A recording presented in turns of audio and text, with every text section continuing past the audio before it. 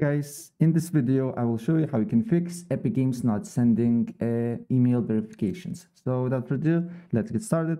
First of all, what I suggest you to do here is to make sure that you did not make any typos of your email. The correct email is set. And then you need to uh, expect for a, a, verification code.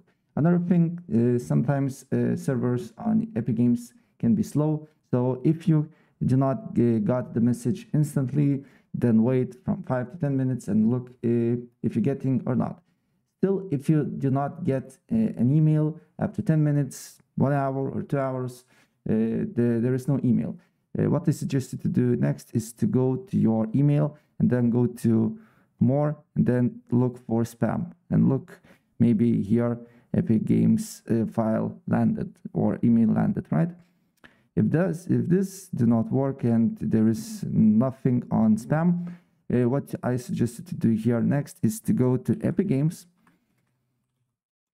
Epic Games, uh, and then if you uh, do not do not have access to your e account, then create new one, and then you just need to contact Epic Games support.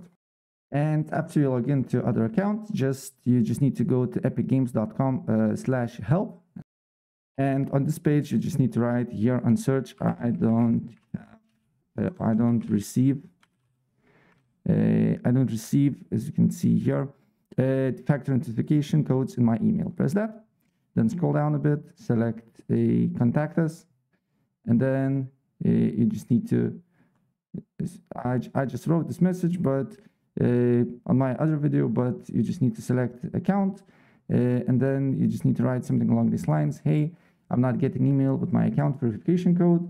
Uh, could you help me out? And then put your account name and email.